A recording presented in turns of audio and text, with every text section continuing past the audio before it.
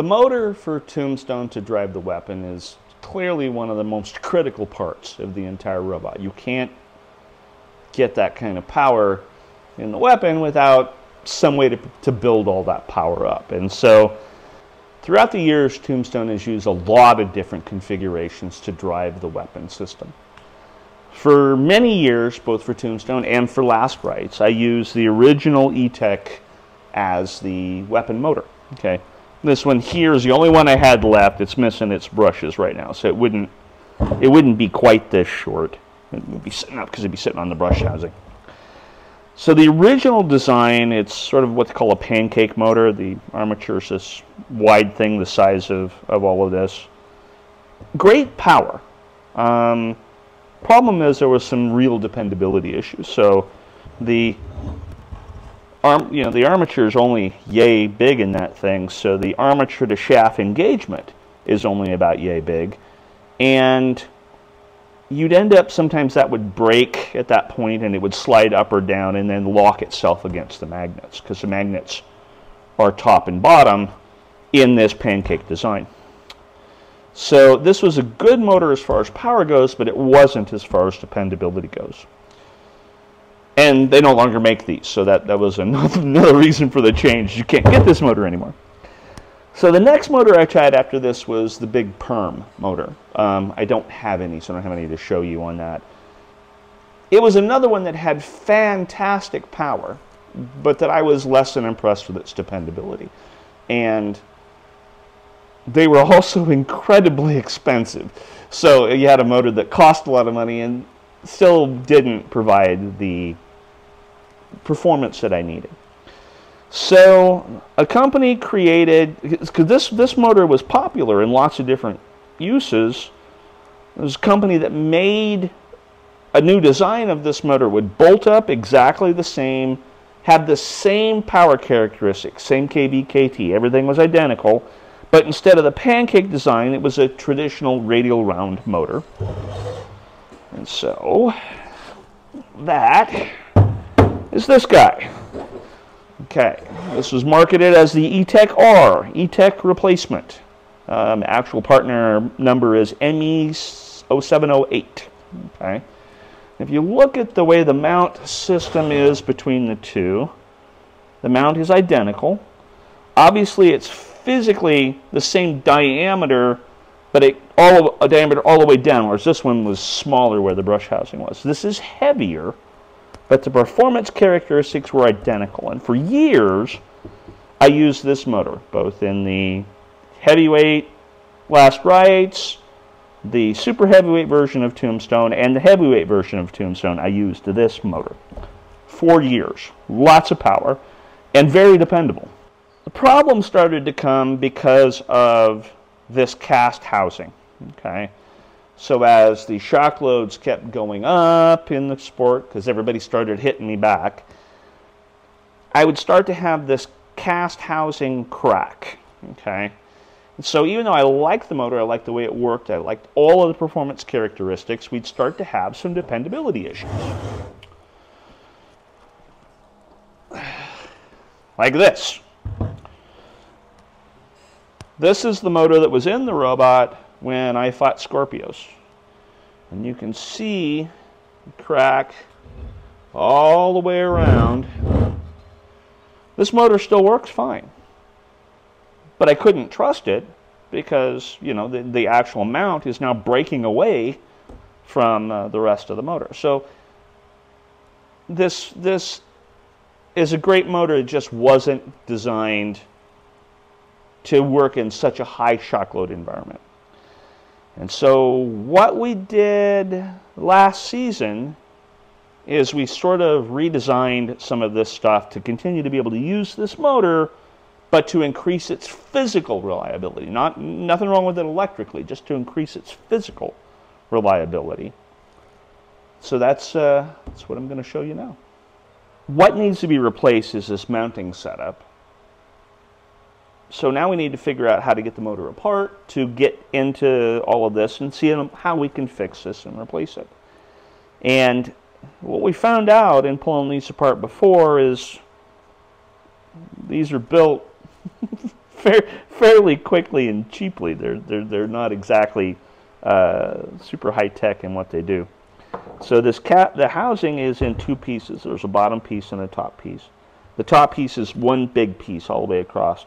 And it's literally only held in place by those four screws around the side and some epoxy. It's, it's glued together.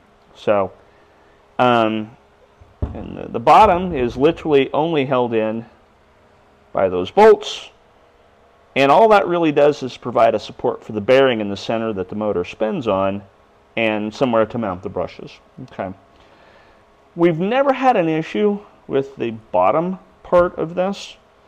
So what I need to do is I need to find a way to replace the top part without having to redesign the brush housing, which I really did not want to do. So what we need to do now is we need to just take this apart and I can show you what we ended up doing.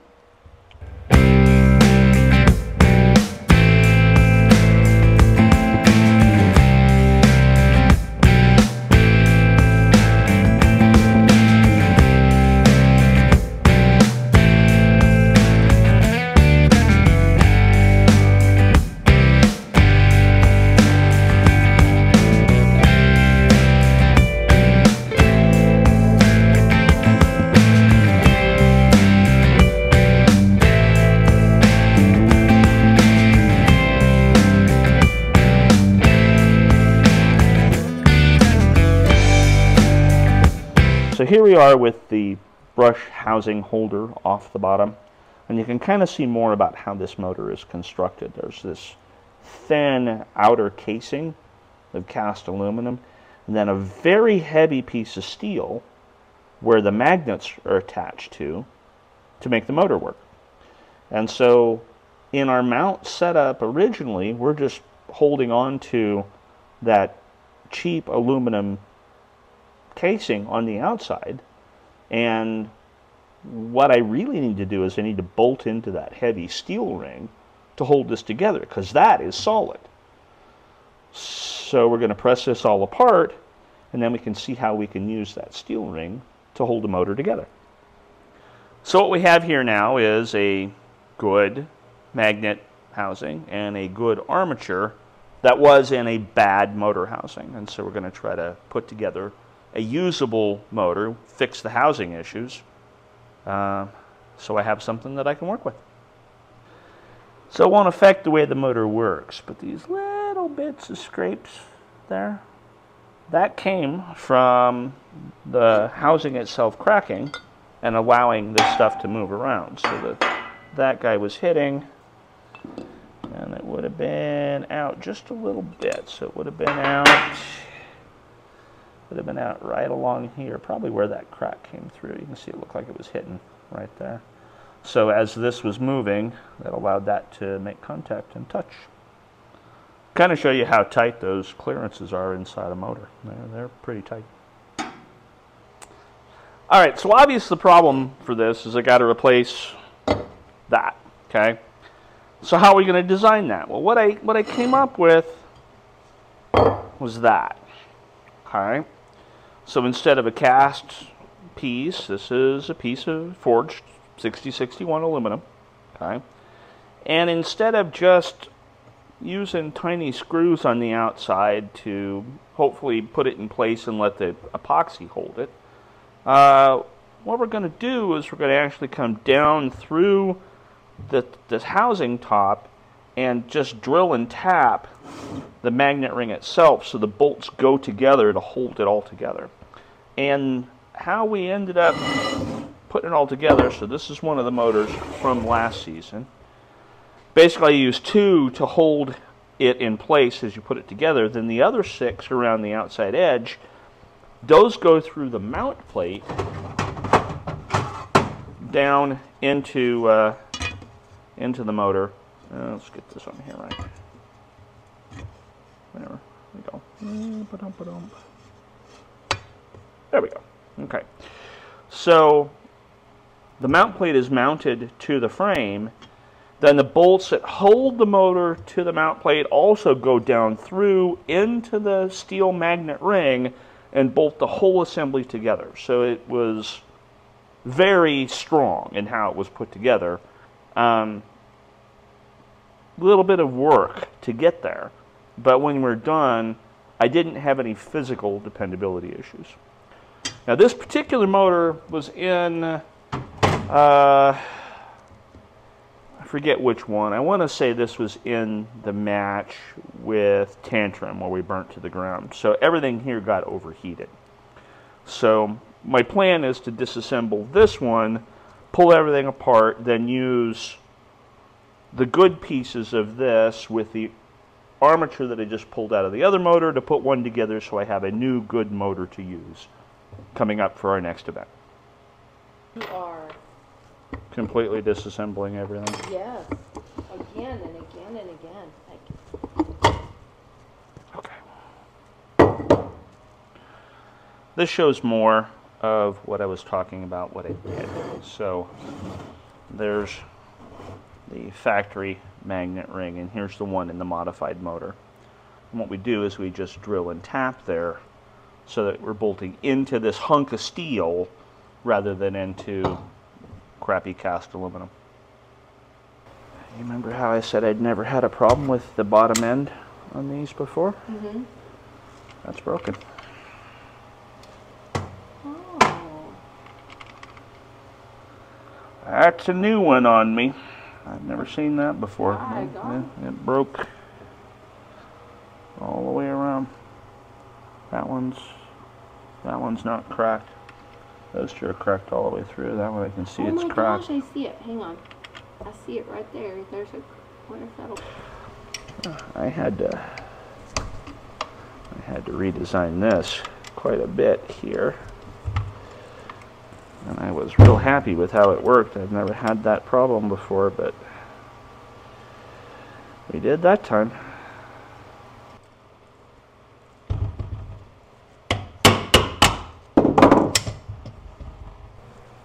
This is the armature that was in the robot that burnt to the ground. And you can see how all of the insulation on the windings is just literally melted off. It's not supposed to be all flaking and peeling away like that. It should be complete. So that motor, that motor got hot to be able to do that. So the idea is we're going to replace that with the armature out of the motor where the housing cracked. Okay, because this one's still still good.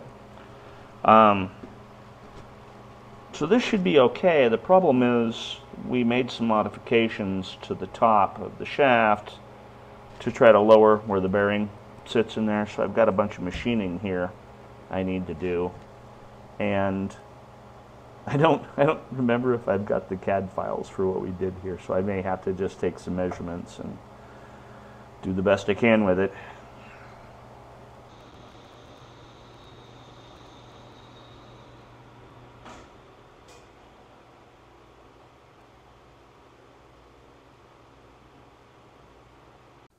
This is the armature out of the overheated motor that we're replacing, and this is the armature out of the broken case motor that we're going to use. All right.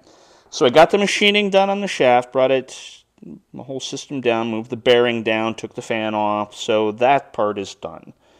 I still have to extend the keyway down and cut off about an inch of the shaft. So I've got a little bit more machining here to do. But realistically, this is really close. So all I need to do is finish up those few things there. Then we can reassemble the motor and do some testing and make sure that we've got a good weapon motor.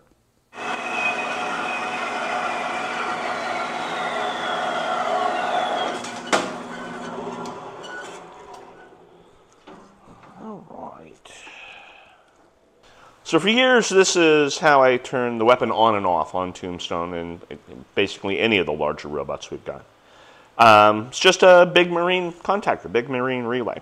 And for years, this has worked perfectly. This has worked great for turning it on and off. Uh, we've had some problems with it lately. It's just not quite enough amperage capability to handle what we're doing.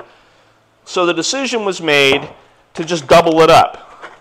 So now if I'm going to run, have two of them set up and ready to go, I had to buy four of them so I could set up a couple of robots ready to go.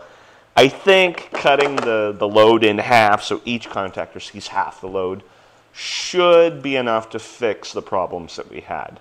Um, so basically, that's what we'll have to do. Now, these little plastic feet that they use, the, the factory arrangement to hold this down, well, these break off in combat. These weren't really designed to be uh, um, in the shock loads that we see inside the arena. So what I'll have to do is I'll have to either machine or 3D print something to hold it this way. So I've got some material. So I guess the next thing I'm going to have to do is just make a custom mount so I can hold a couple of these things in there to be uh, ready to use it for when we fight.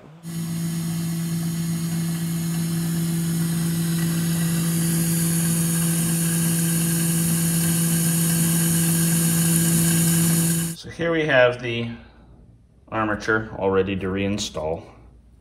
Got the keyway extended, got the machining done. So this is ready to put back together. And it's got to go in this magnet ring. And far and away, this is the most dangerous part of this operation because those magnets want to pull the iron and that armature together. And if you get your fingers in the way, it's enough magnet draw to cut your finger off. So this is one of those things you do have to be careful for. This is how I do it. Grab the armature by the top. You got to kind of set it straight down and it'll stop when that bottom of the shaft hits counter below it. So the trick, don't get your fingers up above, keep it down below. The idea is just to lift it up straight up so that it joins without scraping or damaging the armature. And it's about like that. so, that guy's ready to reassemble. Okay, so here is the completely assembled motor, ready to go. Uh, first thing we're going to do here before we call it good is we're going to test it. Uh, we are using a bunch of used parts to put together a good motor, and even though I inspected everything real good, we're gonna we're gonna do a little test on it, and make sure everything sounds good. All right, so I've got the motor connected up to a big power supply. Let's uh, let's throw some voltage at it. See what it does.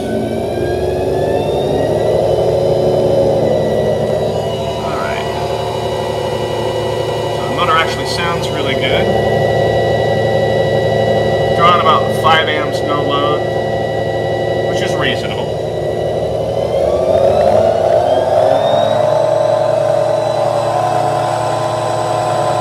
Only goes up to 6 amps no load at 20 volts. It sounds great.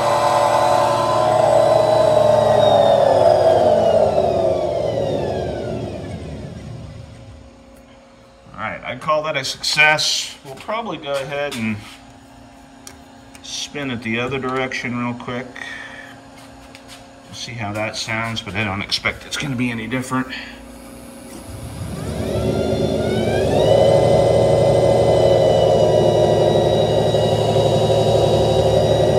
Numbers look to be the same going in the other direction.